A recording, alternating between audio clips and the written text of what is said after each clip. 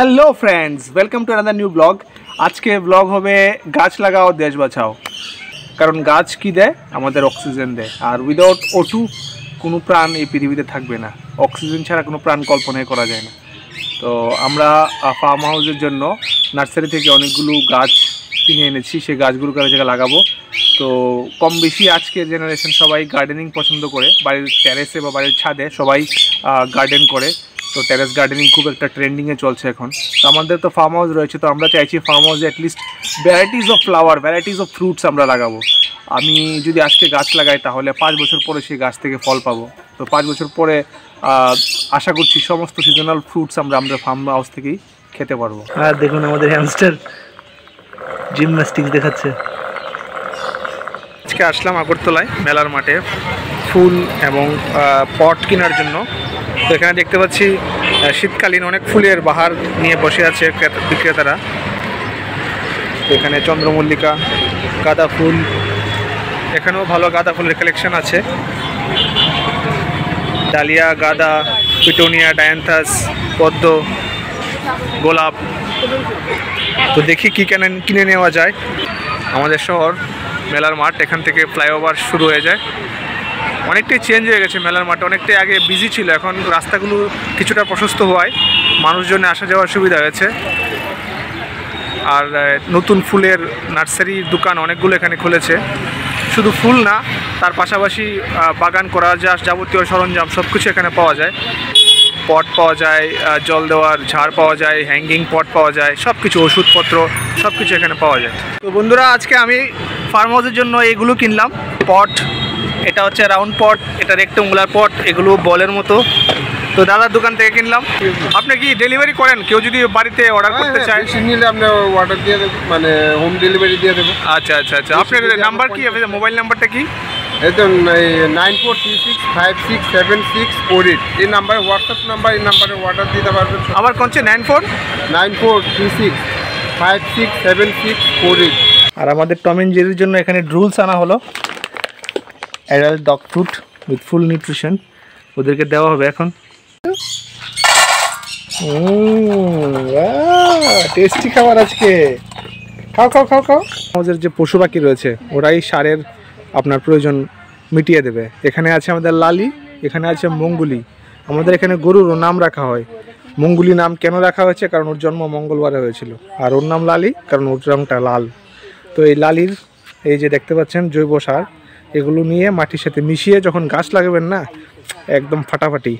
এগুলো হচ্ছে natural fertiliser এগুলো দিয়ে গাছ লাগাইলে গাছের পুষ্টির কোনো কমতি হয় না। এগুলো অনেক পুরনো গোবর। পুরনো গোবর দিয়ে লাগানোর চেষ্টা করা উচিত। নতুন গোবর দিয়ে লাগালে অনেক সময় গাছ ক্ষতি হতে পারে। গোবরটা যখন অ্যারাউন্ড ওয়ান ইয়ার্স পুরনো হয়ে যাবে এটা শক্ত থাকে।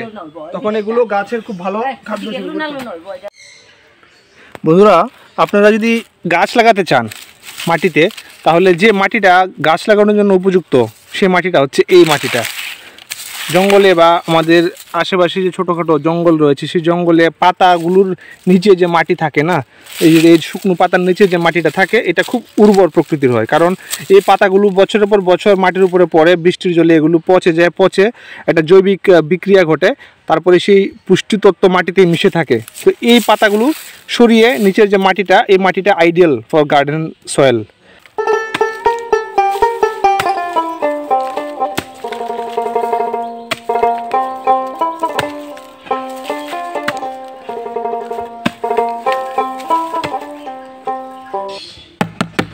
আর গাছ লাগানোর আগে পট, এই পটের নিচে হোল থাকাটা খুব প্রয়োজন।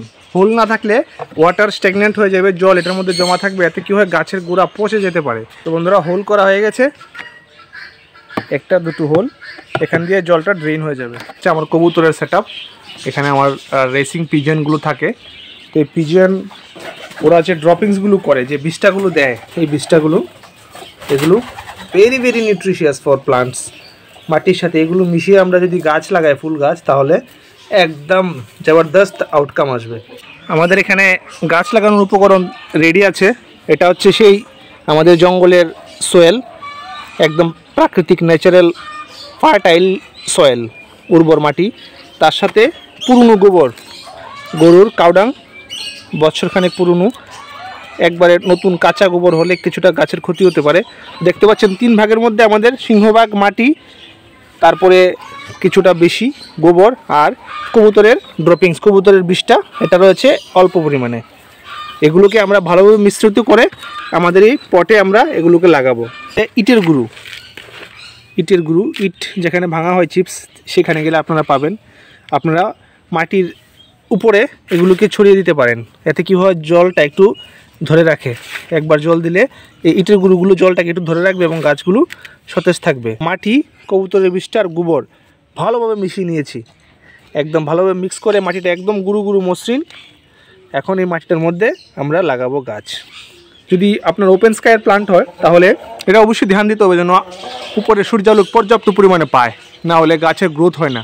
শুধু মাটির স্বাস্থ্য এবং সার দিলেই গাছ গ্রোথ হবে না, তার পাশাপাশি sunlight is very essential finally আমাদের গাছ রেডি তো বন্ধুরা দেখতে পাচ্ছ এখানে একটা ডায়ান্থাস আর একটা পিটোনিয়া।